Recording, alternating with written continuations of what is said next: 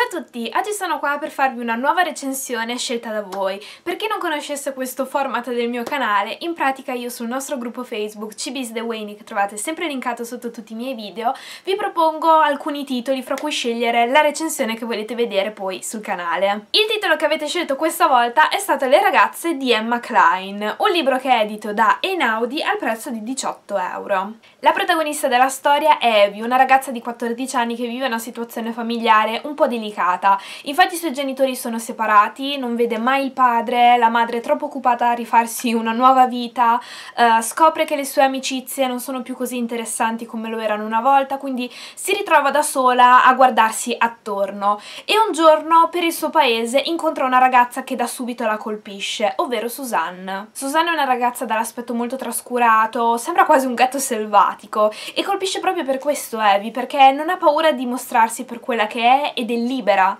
Avvicinandosi a Suzanne, Evie scoprirà l'esistenza del ranch, una sorta di setta, di gruppo di ragazze che ruotano attorno ad un unico uomo. Questo libro fa riferimento a degli eventi realmente accaduti nel 69, ovvero gli omicidi da parte della setta di Charles Manson. Tuttavia la storia non è incentrata sulla setta su questo gruppo di ragazze, è focalizzato principalmente sull'essere un'adolescente femmina. Il tema principale del libro è infatti l'adolescenza, come Evie vive questa condizione in cui ha ancora dei desideri, degli atteggiamenti infantili, ma allo stesso tempo vuole crescere, crescere subito. Come vede come si rapporta agli adulti, visto che vive una situazione familiare molto difficile, non ha un vero e proprio rapporto con i suoi genitori, in particolare con la madre. In particolare il rapporto fra Evie e la madre, che è un rapporto molto complicato in cui è quasi impossibile comunicare, l'ho trovato molto interessante però allo stesso tempo poco approfondito. Si poteva sviluppare meglio questa parte proprio per sottolineare anche le difficoltà di comunicazione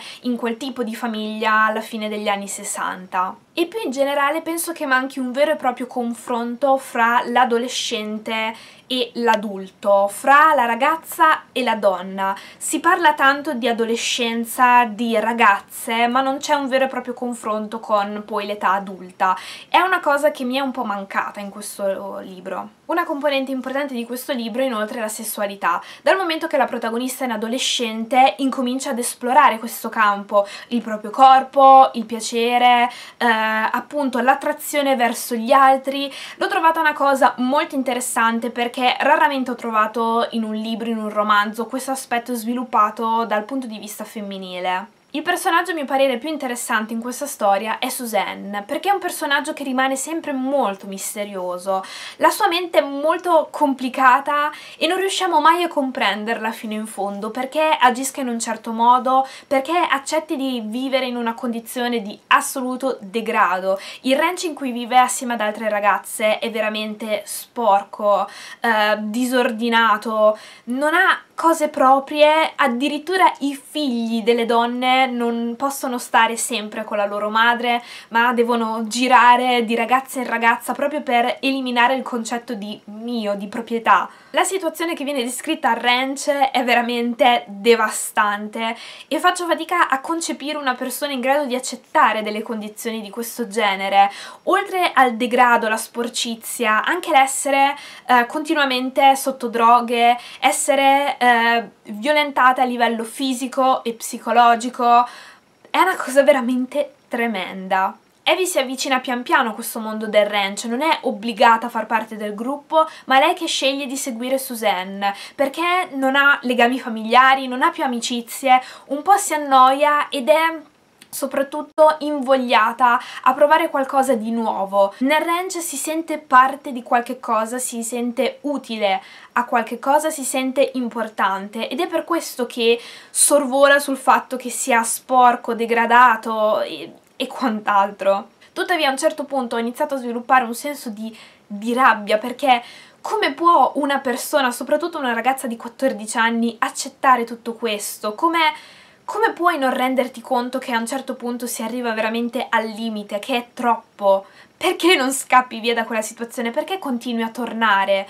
Ha un legame veramente ossessivo verso Suzanne, è ossessionata da questa ragazza uh, che ha qualche anno in più di lei, quindi la vede veramente con occhi diversi e soprattutto il suo modo di essere così naturale, così libera di potersi esprimere, ha una certa invidia nei suoi confronti ma allo stesso tempo desiderio. Una cosa che mi è piaciuta particolarmente è che la storia ci viene narrata da una Evie adulta che ha già vissuto l'adolescenza e rivive quindi i suoi ricordi del passato, quel momento diciamo di iniziazione. L'ho trovato un punto di vista interessante perché ci sono delle considerazioni fatte a posteriori e effettivamente quando si cresce, si diventa grandi eh, e si ricordano i momenti del passato, a volte è difficile capire perché si sono fatte certe cose, però allo stesso tempo ci si comprende anche meglio.